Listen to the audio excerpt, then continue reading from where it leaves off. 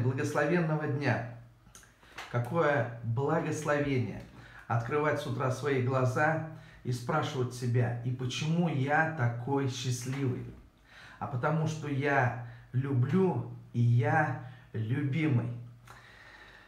Колоссянам 1.27. Какое богатство славы в тайне сей для язычников, которое есть Христос в вас, упование славы. Вы знаете, драгоценное, Христос в нас, аллилуйя.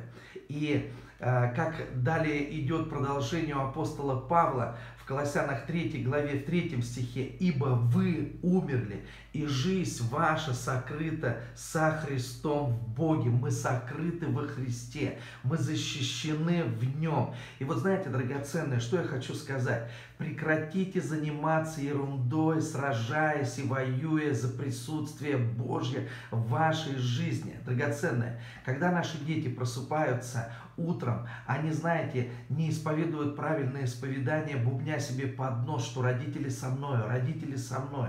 Нет, они уже просыпаются в присутствии своих родителей, точно так же, как и родители просыпаются в присутствии своих детей. А в Боге еще глубже, драгоценный, аллилуйя, мы засыпаем с Ним, мы спим с Ним, аллилуйя, мы просыпаемся с Ним, мы им живем, двигаемся и существуем. Поэтому, знаете, драгоценные, я хочу сегодня сказать, расслабьтесь, потому что Галатам 2 глава, 19 стих говорит нам о том, что уже не ты живешь, а живет в тебе Христос. И это говорит нам то, что вызовы этого дня, вызовы любых дней, это вызовы Иисуса Христа. Наши проблемы, это Его проблема драгоценная. И э, Он тебя никогда не оставит, потому что Он живет в тебе, ты в Нем, потому что сам себя он оставить уже никогда не сможет. И еще хочу повторить, прекрати сражаться за присутствие Божие в твоей жизни. Просто находись в присутствии